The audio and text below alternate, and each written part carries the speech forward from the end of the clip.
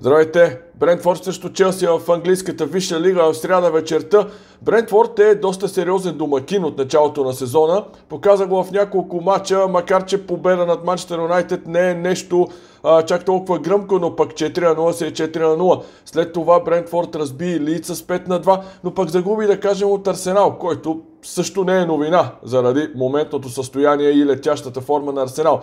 Така или иначе, Челси обаче също е в много добра форма. Два пъти би Мила на Висшата лига е с три, ако не се лъжа, четири поредни победи и Челси е в подножието така в преследването на лидерите. Аз тук единственото, което мога да ви предложа и лично аз ще си играя е гол-гол, защото Брентфорд вкарва доста голове вкъщи.